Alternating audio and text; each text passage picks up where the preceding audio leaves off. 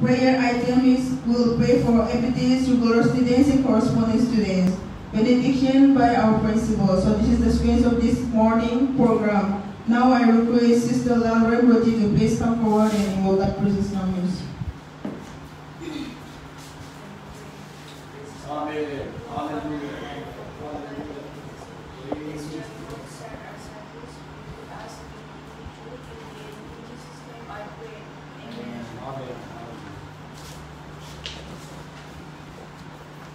Now we have short message, so I give time to serve to please come forward and invoke. Okay, praise the Lord. Hallelujah. Let's turn to the Genesis chapter 22 and uh, we'd like to read out from the Genesis 22 verse 1 to 18.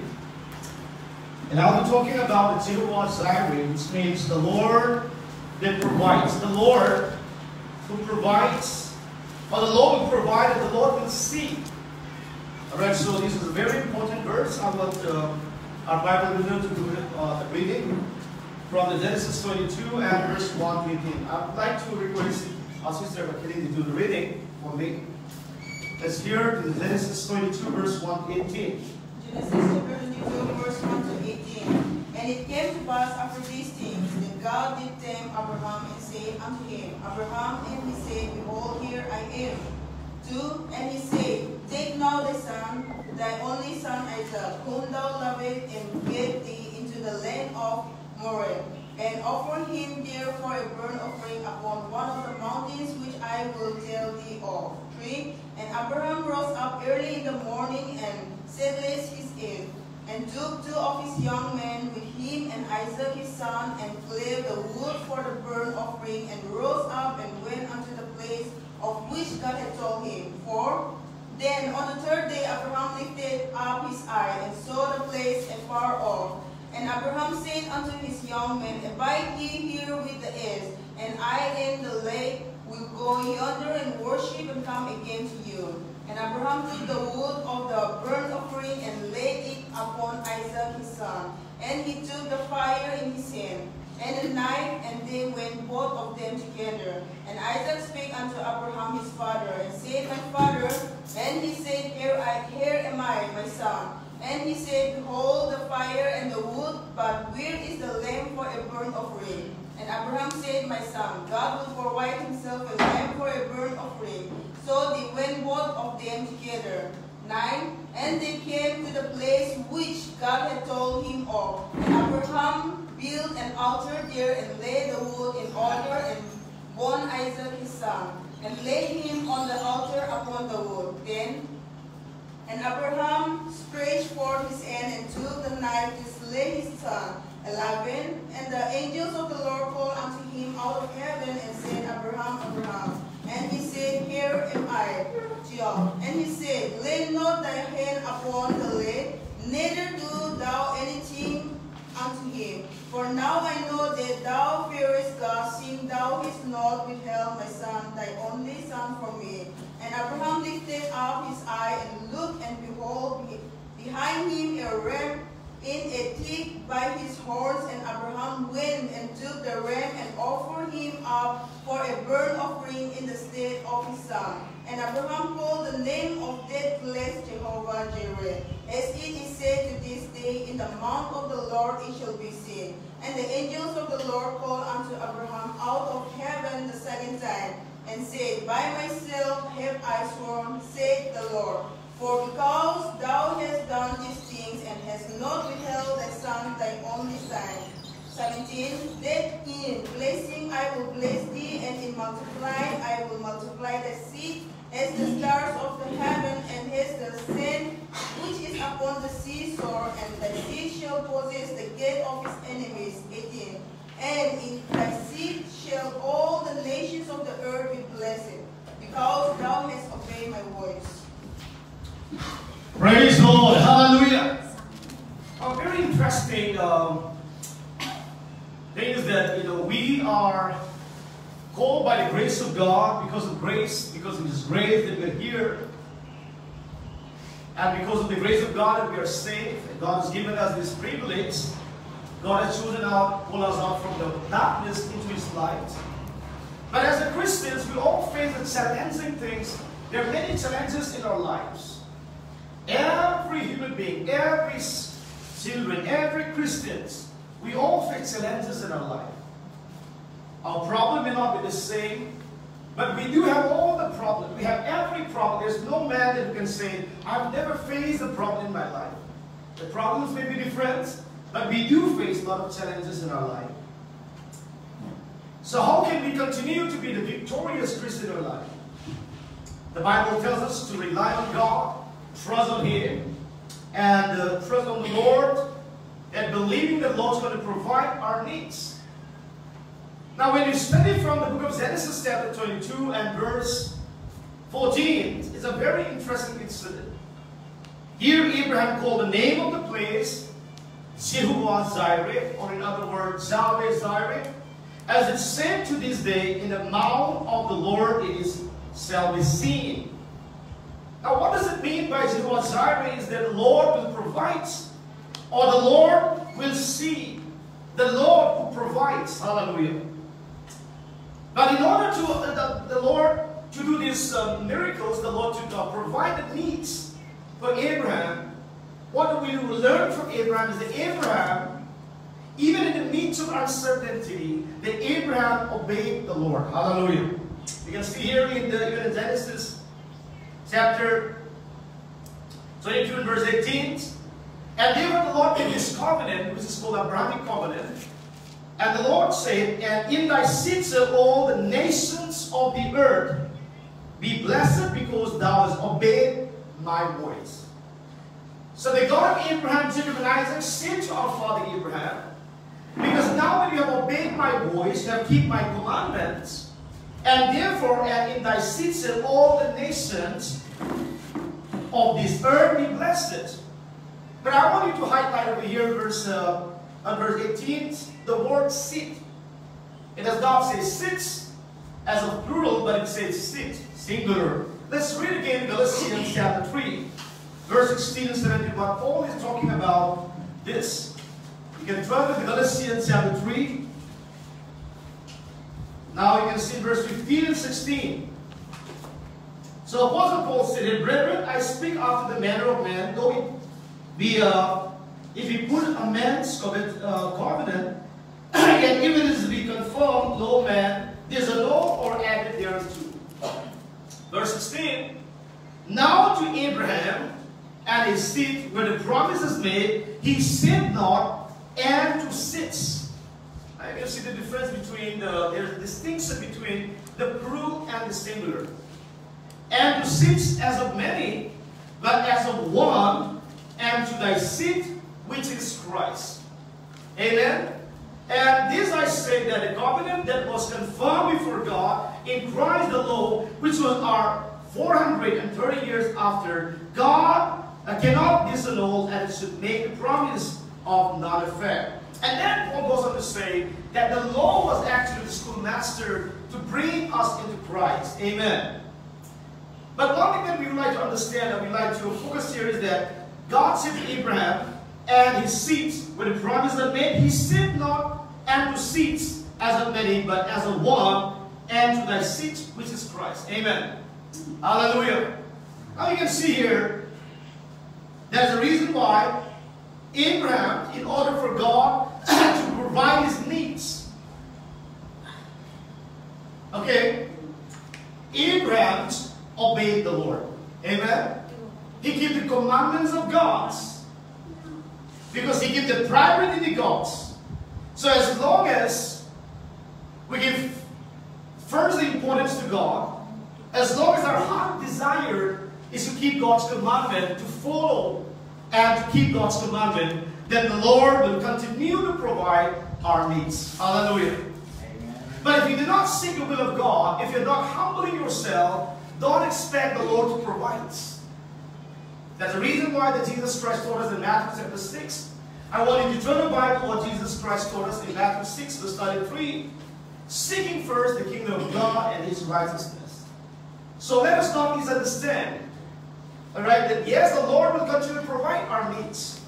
But beyond that, God also provides salvation and even the blessings, the spiritual blessing, and including the physical blessing. God is willing to bless His children. But the condition is here that we must first seek the face of God. Let's turn to the Matthew chapter 6 and verse 33. Someone read out for me. The Matthew chapter 6. Instead, let's begin reading from verse 25 to 34. Okay, let's read out. Matthew chapter 6, yes. Verse 25 to 34. Matthew chapter 6, verse 25. Therefore I say unto you, take no thought for your life, what ye shall eat or what ye shall drink, nor yet for your body what ye shall put on. Is not the life more than meat, and the body than raiment? 26. Behold the flowers of the air, for they sow not, neither do they reap, nor gather into burn, yet your heavenly Father feedeth them. Are ye not much better than they? Which of you by taking uh, through, thou not add one cubit unto his stature? 28. And why take ye thou for raiment? Consider the little of the field, how they grow, they toil not, neither do they spend. And yet I say unto you, that even Solomon in all his glory was not arrayed like one of these. Wherefore, if God so clothe the grass of the field, which today is, and tomorrow is cast into the oven, shall he not much more clothe you, O ye of little faith? Therefore take no thought, saying, What shall we eat, or what shall we drink, or what wherewith shall we be clothed?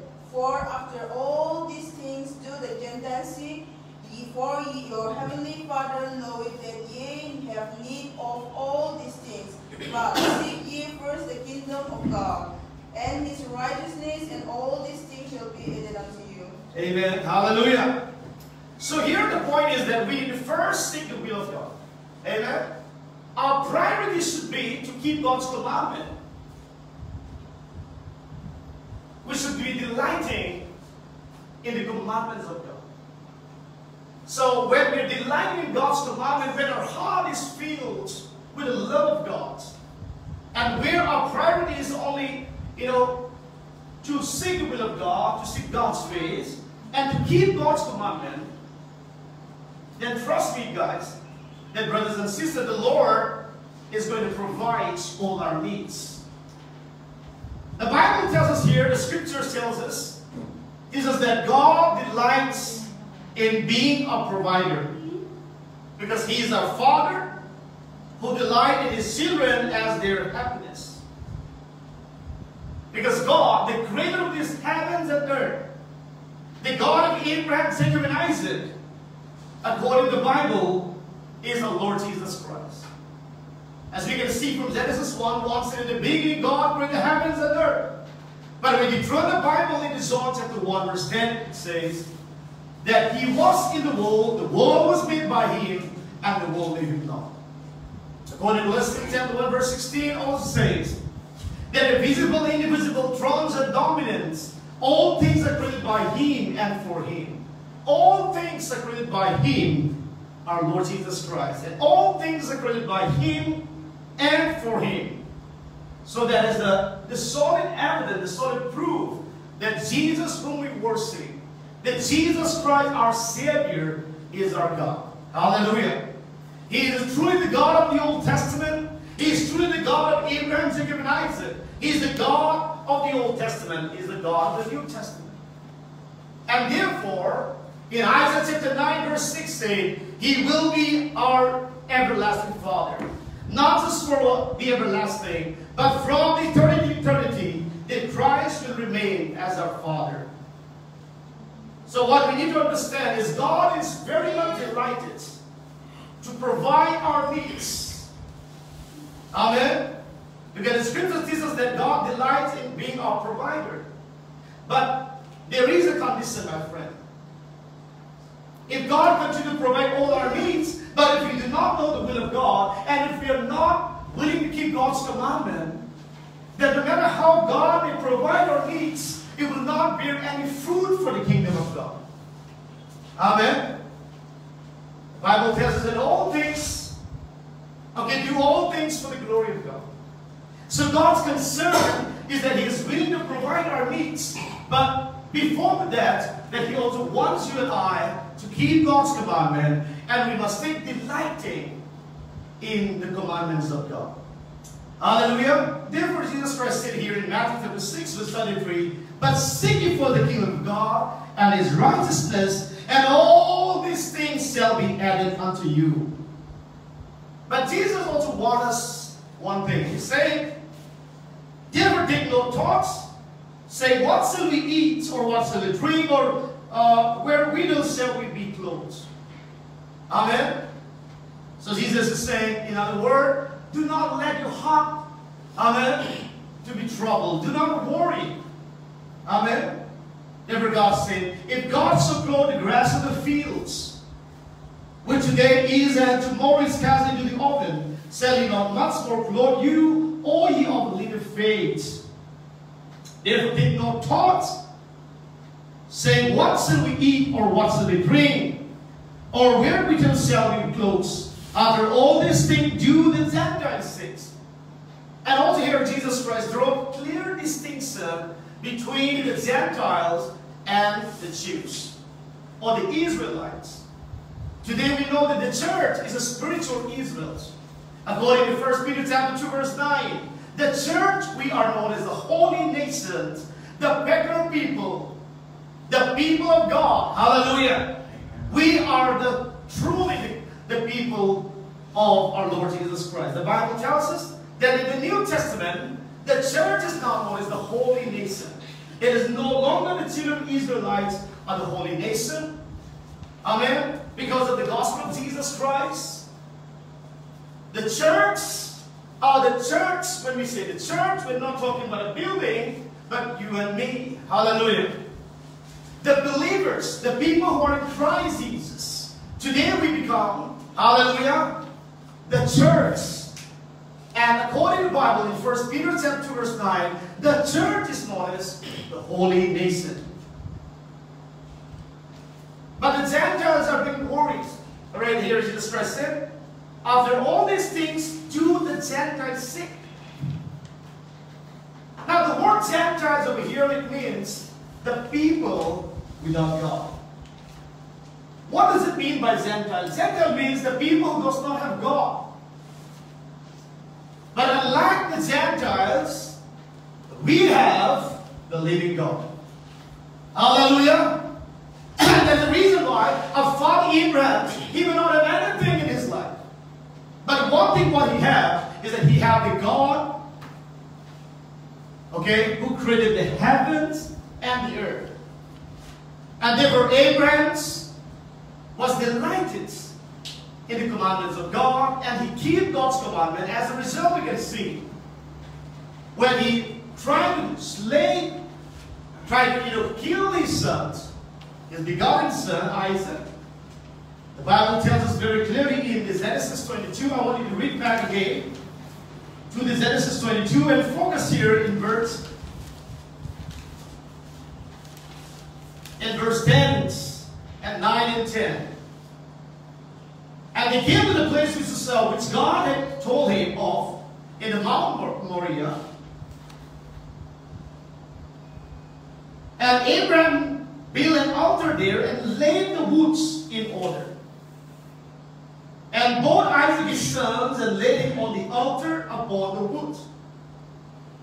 And Abraham, what he did is he stretched forth his hand and took the knife to slay his son. But the angels of the Lord called unto him out of heaven, say, Abraham, Abraham. And he said, Here I am. Here am I. And he said, Lay not thy hands upon thy lay, or in other words, upon your only son. Neither do thou anything unto him, for now I know that thou fearest God. Amen. Seeing thou hast only son from me. Hallelujah. Amen. Now you can see that Abraham, our father, was God's oriented. Amen. He was absolutely Christ-oriented man. Because he had the, all he wanted to do in his life is to glorify him. He was absolutely Christ oriented. He was absolutely God's oriented. His concerns is always to keep the commandments of God. He was delighting in God's commandment. He was delighting in God's covenant. His only concern is to keep God's commandment. But how many of you are delighting in God's commandment, my friend? Because many times I've seen that many people only go to the church as part of the rituals. I asked one of my friends, why are you attending the churches? Why you keep attending church every Sunday? I said, the reason why I'm attending is just because uh, my parents told me to go to. And as I was brought up in a Christian family, therefore, you know, as a part of our traditions, we often attend the church. That means he's not even longing to worship God. So don't do, my friend, things part of the rituals, and don't do things because it's part of our tradition. But Jesus wants you and I to worship Him with all our hearts and mind, because Jesus Christ told us in John chapter 11, now verse 24 and 25, that Jesus said, God is a spirit, and he who worship God must worship Him in truth and spirit. So when you're delighting in God's covenant, when you're delighting in God's commandment, God is ever ready. He is with Abraham because he feared the Lord. He is a God-fearing man.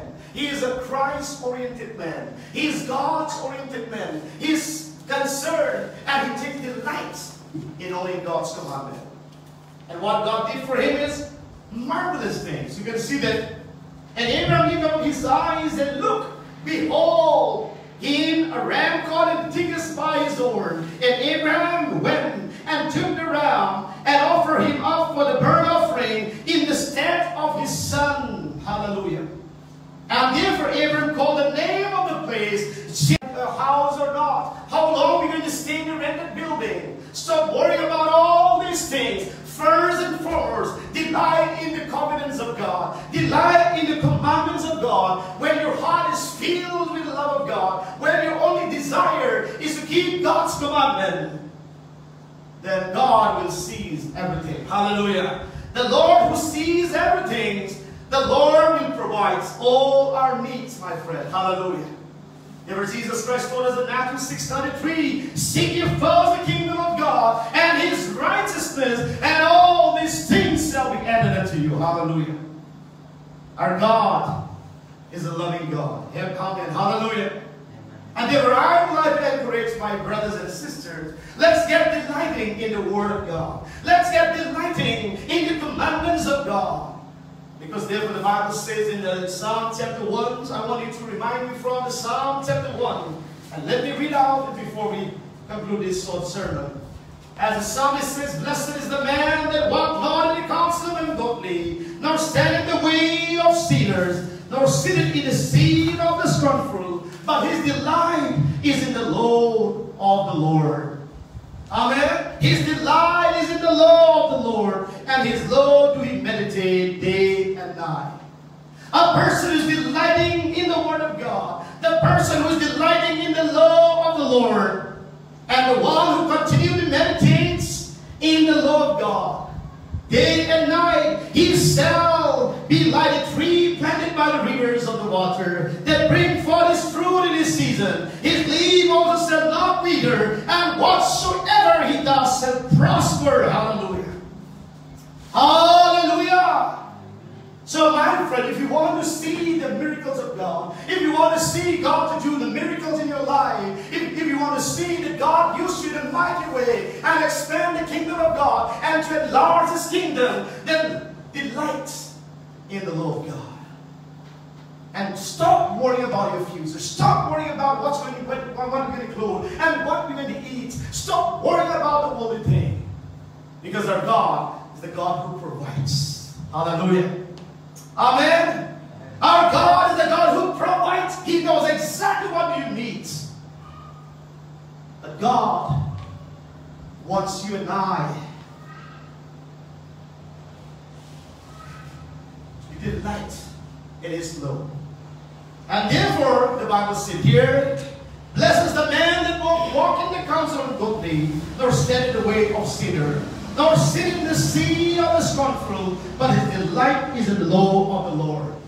So I would like to encourage all my beloved brothers and sisters, start delighting in the law of the Lord. Start delighting, hallelujah, the commandments of God. Start delighting in God's covenant, hallelujah. And the rest, God will surely provide all our needs. Hallelujah. Because our God is a loving Father. He is a loving God who will never disperse, despise you, who will never desert you. He will never, never forsake you. Because our God is a loving God. Hallelujah. Amen.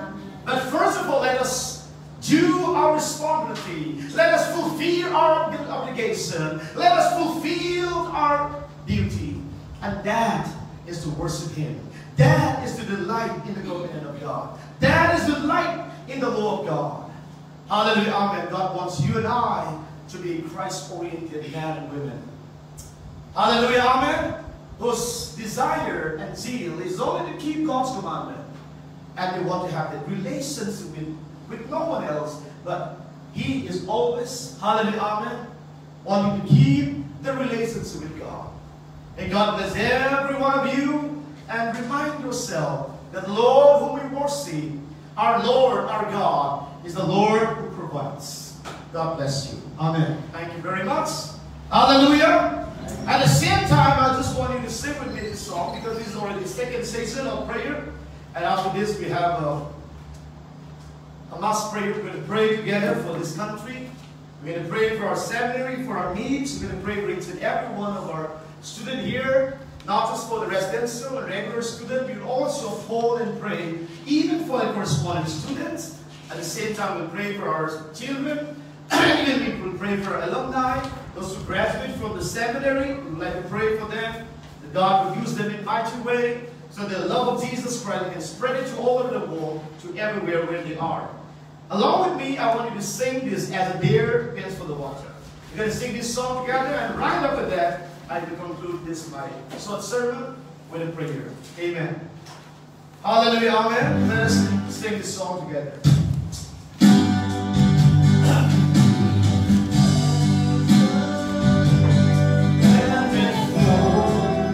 The water so my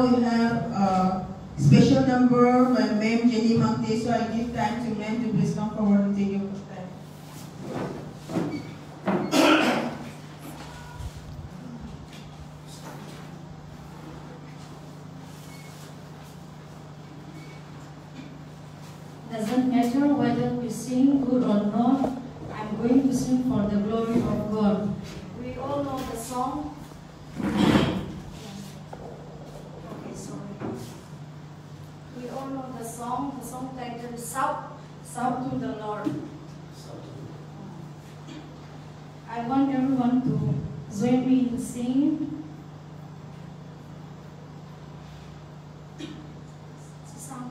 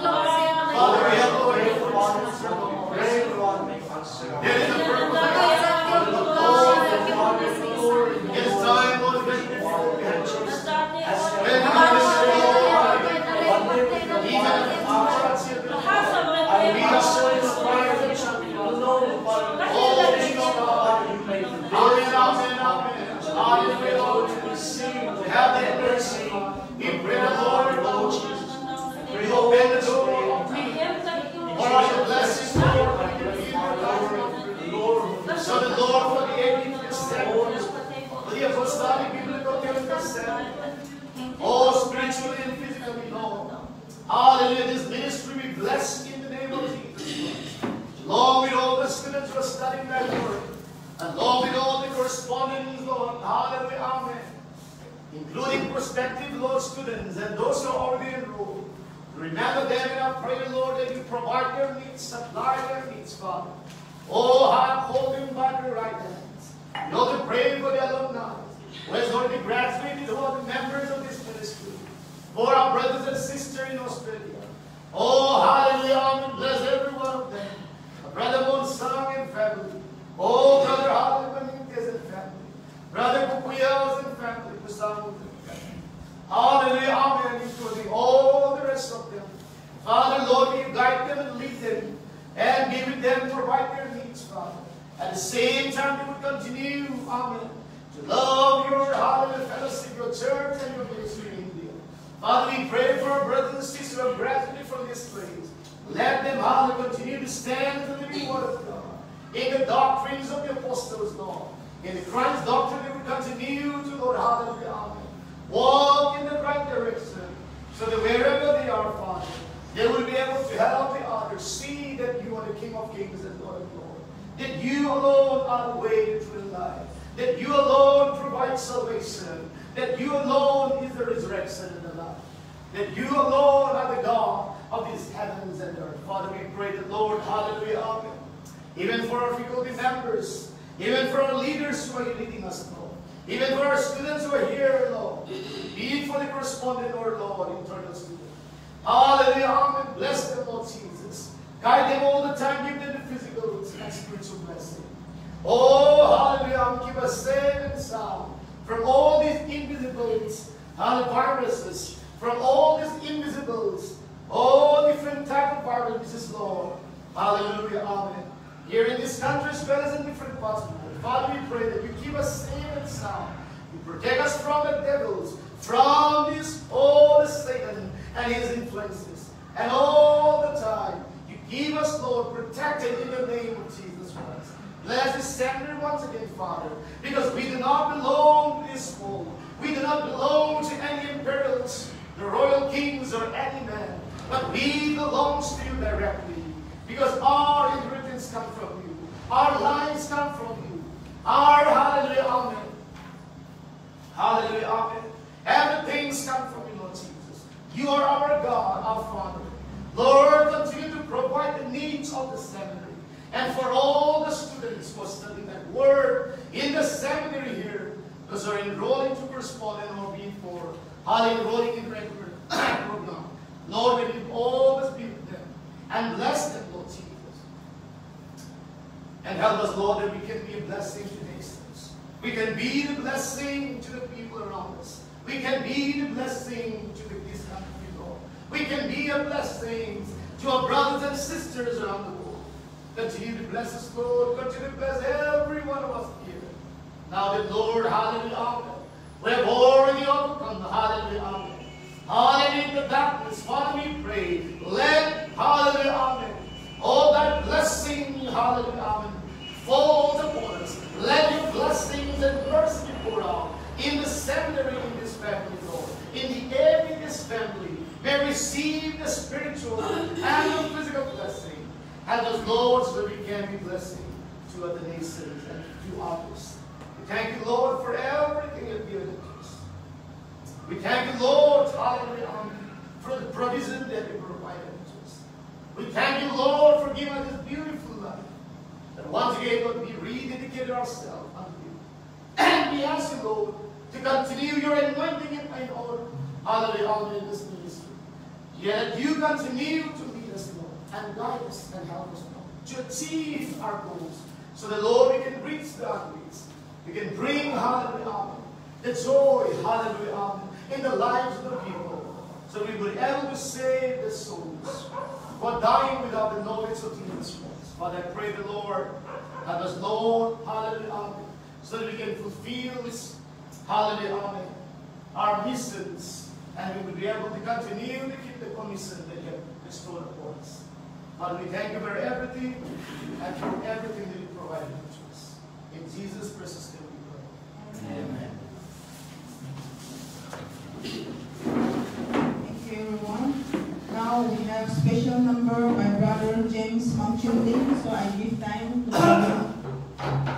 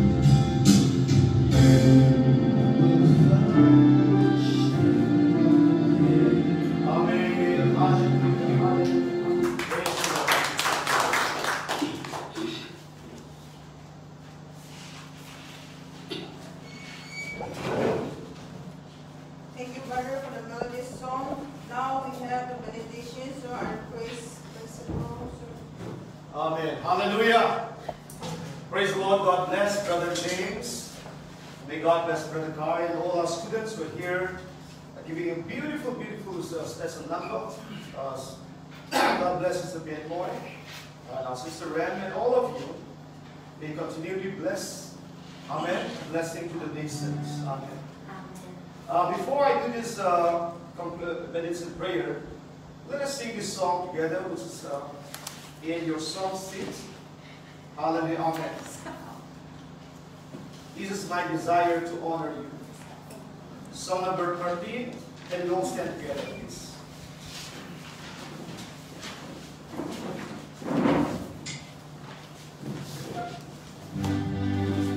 Amen. Hallelujah. This is mine.